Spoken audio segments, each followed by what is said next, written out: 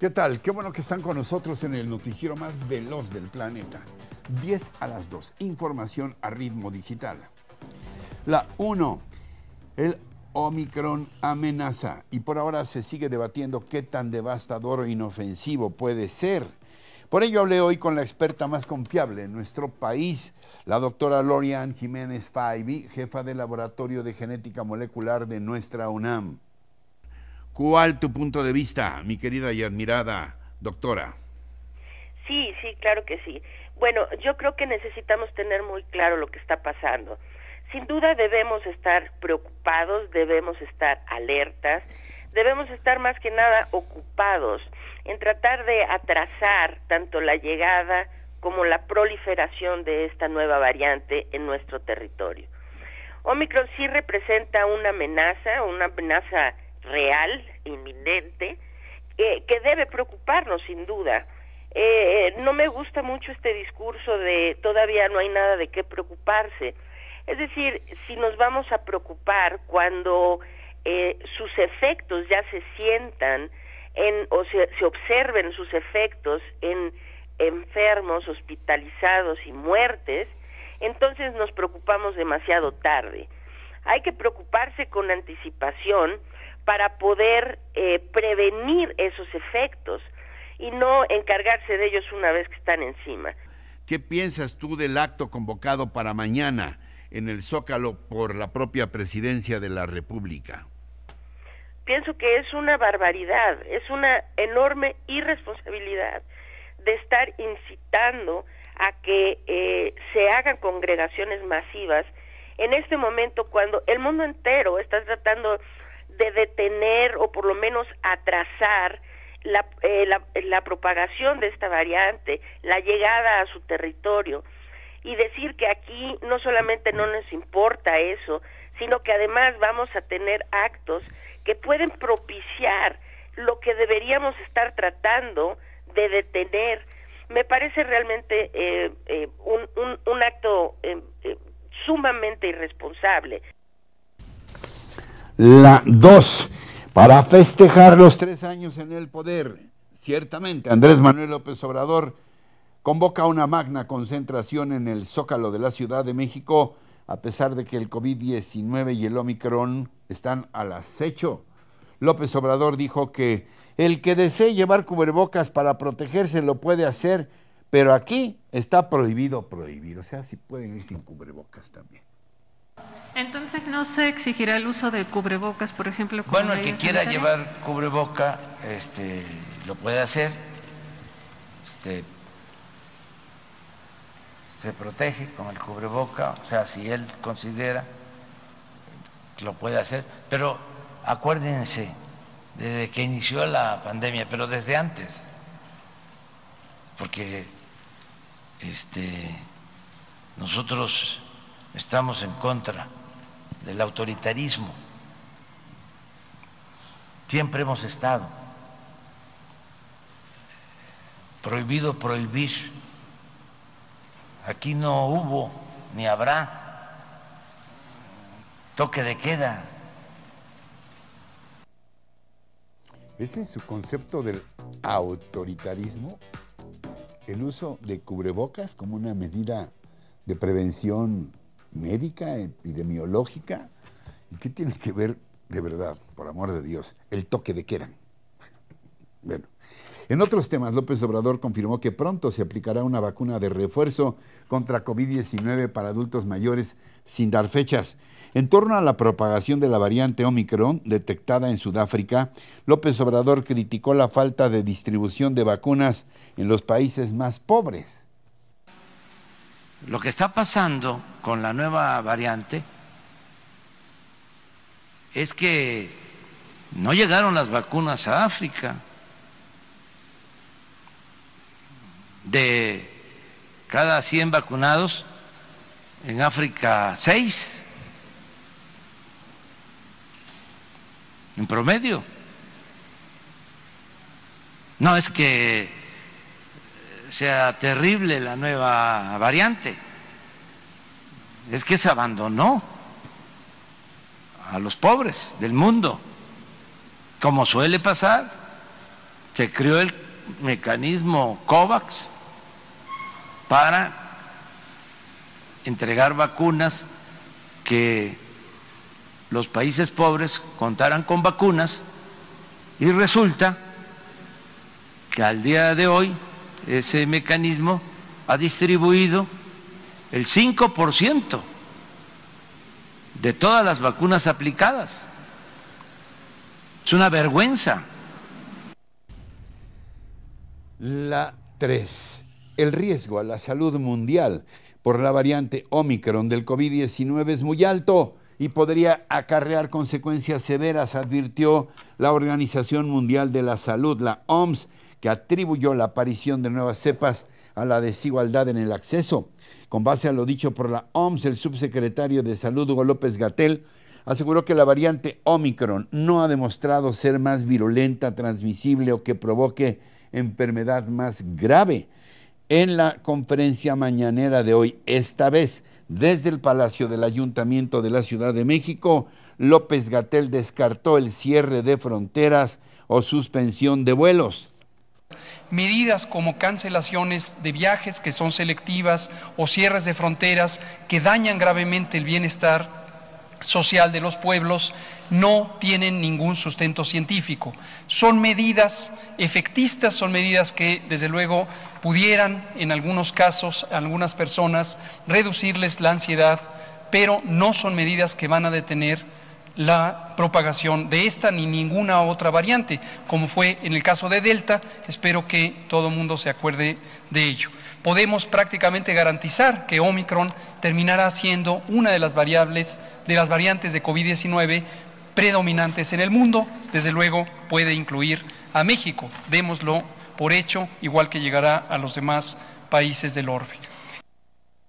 López Gatel, el mismo que dijo que en un escenario catastrófico tendríamos 60 mil muertos y ya llevamos en la cifra oficial casi 300 mil y en la extraoficial 600 mil. Exhortó a la población a vacunarse porque dice así se reducen las posibilidades de infectarse con el COVID-19. En tanto, la Secretaría de Salud informó que en las últimas 24 horas la curva epidémica del COVID registró por segundo día un incremento del 6%. Ese aumento se da en un cuadro de bajas temperaturas a causa del Frente Frío número 11 que azota al país se confirmaron 53 fallecimientos para un total de 293.950 muertos y un acumulado de 3.884 casos.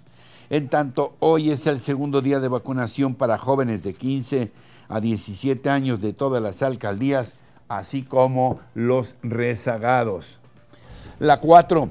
De última hora, científicos de Hong Kong aíslan la variante Omicron Hace apenas unas horas, investigadores de la Universidad de Hong Kong lograron aislar la variante Omicron de COVID-19 de diversas muestras clínicas, lo que ofrecería una oportunidad para desarrollar una vacuna urgente contra esta nueva cepa. Esto se da menos de una semana después de que se registraran los primeros casos con esta variante, la cual ha sido clasificada como preocupante por la Organización Mundial de la Salud. El Departamento de Microbiología trabaja en la expansión del virus para evaluar su transmisibilidad, capacidad de evasión inmune y patogenicidad en modelos animales. Omicron ya ha registrado casos en Australia, Bélgica, Botswana, Gran Bretaña, Dinamarca, Alemania, Hong Kong, Israel, Italia, los Países Bajos, Francia y Canadá. Algunas de las farmacéuticas que han desarrollado vacunas anti-COVID anunciaron que ya están probando o que tienen preparada alguna versión de sus vacunas en caso de que surja una nueva cepa. La 5. En otros eh, temas, sigue llamando la atención la aparición del Frente Cívico Nacional en el escenario político electoral de México. Esta mañana hablé con uno de sus miembros más destacados, el senador Gustavo Madero, quien es también fundador del Grupo Parlamentario Plural en el Senado de la República. A ver, eh, Gustavo, ¿es una agrupación en contra del gobierno del presidente López Obrador? No, es para crear una alternativa. Mira, la mitad de los mexicanos piensa que el gobierno de Manuel está bien, está dando resultados y que las cosas van bien. Hay otra mitad que estamos preocupados, que creemos que las cosas no van bien y que van a empeorar. Pero para esto, este otro grupo, estamos divididos en distintos grupos, partidos, este, y no hemos construido una unidad de discurso, de propuesta, y menos una candidatura, Ricardo, una figura que aglutine a, un proyecto rumbo al 2024 con una figura también de un gobierno de coalición. Esto ya está en la Constitución, la posibilidad de que eh, se conforme un gobierno de distintas fuerzas políticas eh, constitucionalmente eh, constituido. Y esto es lo que queremos impulsar a través de un método más democrático. Lo que no queremos es que el PRI salga con una candidatura, el PAN con otra, Movimiento Ciudadano, porque entonces nos estarían ya dejando a los ciudadanos preocupados eh, sin esperanza de un triunfo en el 2024. La única posibilidad es que todos los partidos de oposición, a través de un método democrático de primarias abiertas, eh, postulen cada uno a dos, tres, cuatro eh, aspirantes y en estos meses que tenemos el próximo año empiece a haber como un, un ejercicio de, análisis. Una suerte de, de, criba o de preselección, sí. Un, road, un roadshow un roadshow con tiempo para irlos escuchando sobre distintos temas en distintos estados que piensan sobre el tema energético, sobre el tema de salud, educación, y esa criba que tú mencionas, Ricardo, se iría dando de una manera eh, muy natural y saldríamos con unidad,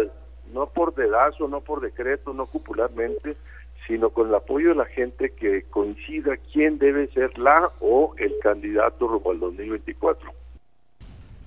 La 6.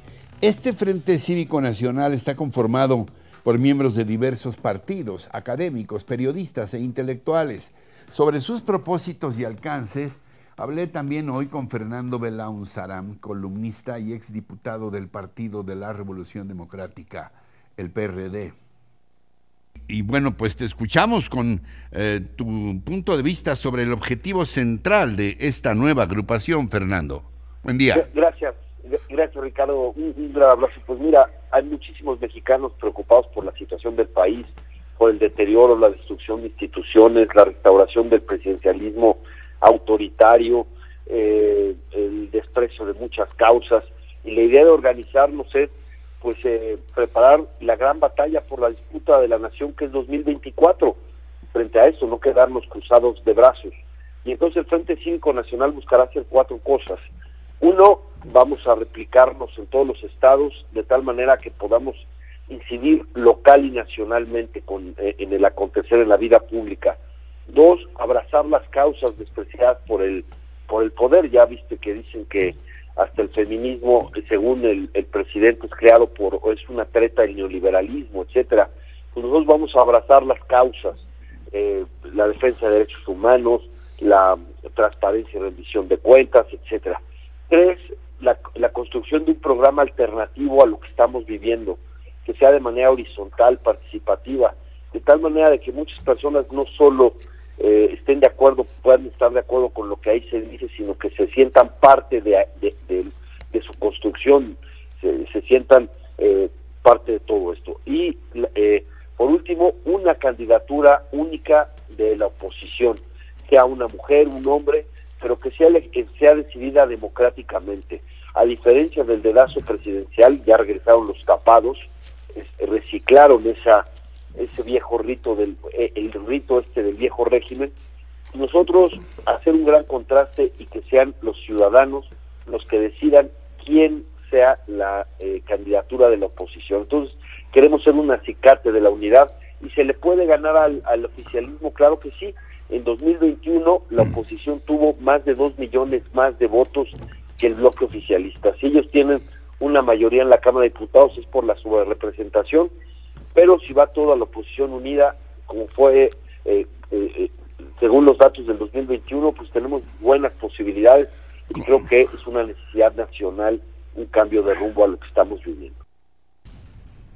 La 7.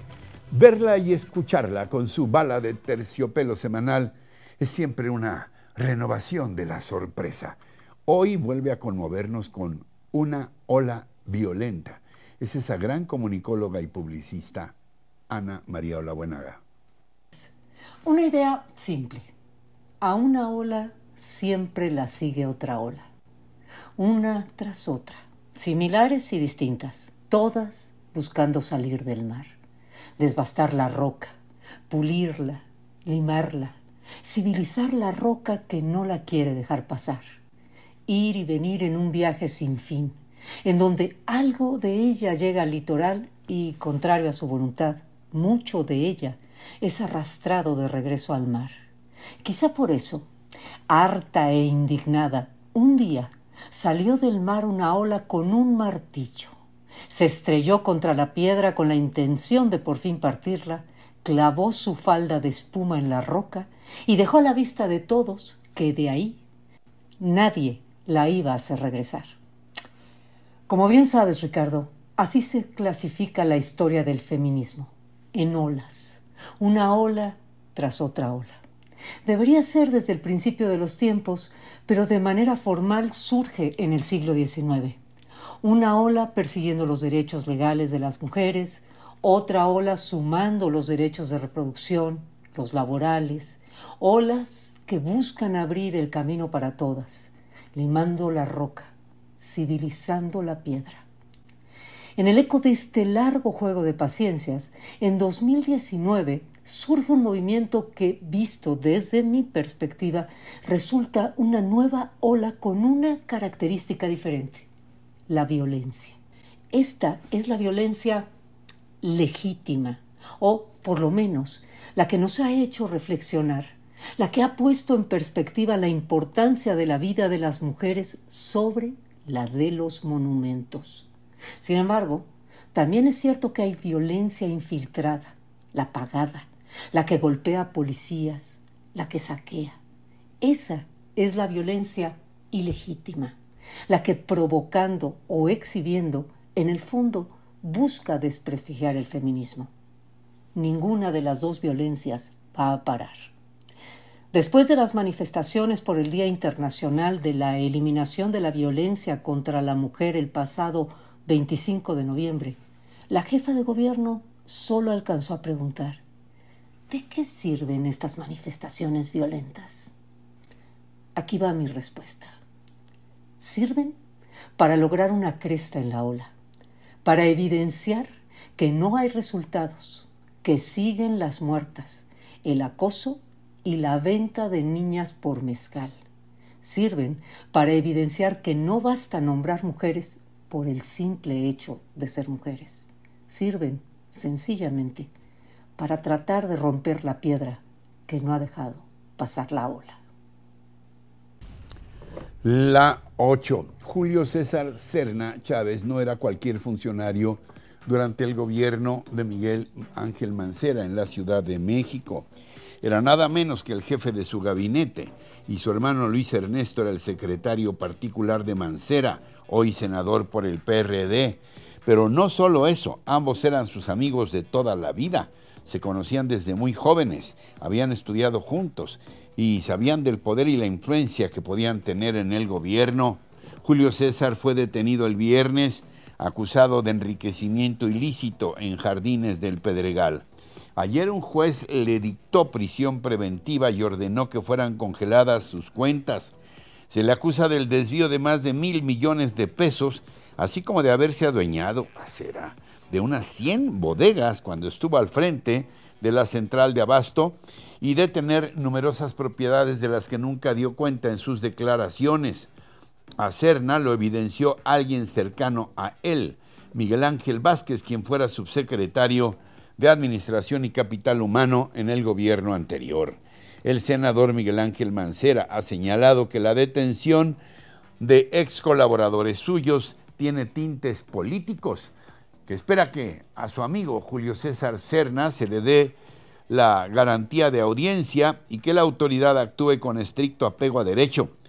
Y advirtió que la escena política está presente. Vienen elecciones y esto no va a cesar, puntualizó. La 9. Se calienta la situación en el CIDE después de que ayer fuera ratificado en la dirección del Centro de Investigación y Docencia Económicas el polémico José Antonio Teleeche. Hasta el momento no ha podido tomar posesión de las instalaciones. Y es que resulta que estudiantes de la institución mantienen tomado el edificio del CIDE en rechazo a la designación del académico por parte de María Elena Álvarez Bulla, la polemiquísima directora general del CONACIT. La comunidad del CIDE anunció el paro indefinido de actividades después de señalar una serie de irregularidades durante el proceso de nombramiento del nuevo director. Algunos académicos del propio CIDE, así como expertos universitarios, denuncian que entidades gubernamentales pretenden eliminar la autonomía de la institución, así como otros centros de estudio como la UNAM, que dicen ya ha sido denostada por el gobierno. Ayer el presidente López Obrador afirmó que el CIDE se derechizó, al igual que la UNAM, pidió que se acaben los cacicazgos en la academia y los grupos intelectuales y alertó que Enrique Krause y Héctor Aguilar Camín podrían estar detrás de las protestas en el CIDE.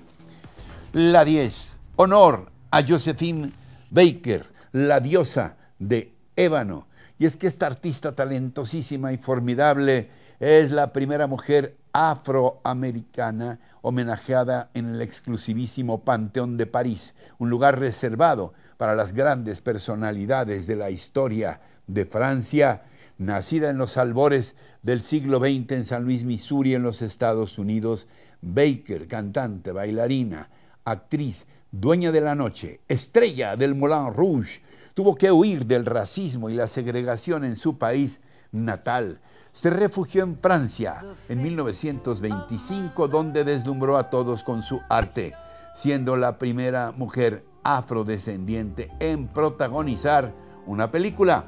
Igualmente es considerada una heroína, pues durante la Segunda Guerra Mundial Formó parte de la resistencia francesa. Arriesgaba su vida en misiones en las que, como espía, recogió información de oficiales alemanes a los que conocía en fiestas y llevó mensajes ocultos en su ropa interior a Reino Unido y otros países, gracias a su condición de estrella, con lo que justificaba sus viajes. Se convirtió en ciudadana francesa después de casarse con el empresario Jean Lyon en 1937. Murió en 1975 y fue sepultada en Mónaco. Pero hoy, más de 40 años después, y gracias a la insistencia del presidente francés Emmanuel Macron, será la primera artista y quinta mujer en ser honrada con una sepultura en el célebre Panteón de París. Grande hasta en su muerte y en su recuerdo la inolvidable Josephine Baker. Y así, emocionados con esta gran dama, llegamos al final del día de hoy. Pero recuerden que tenemos una cita de lunes a viernes en 10 a las 2 y en todo momento con nuestros contenidos completitos en nuestras redes sociales y por supuesto aquí en nuestra página rochainforma.com. Hasta entonces, hasta siempre.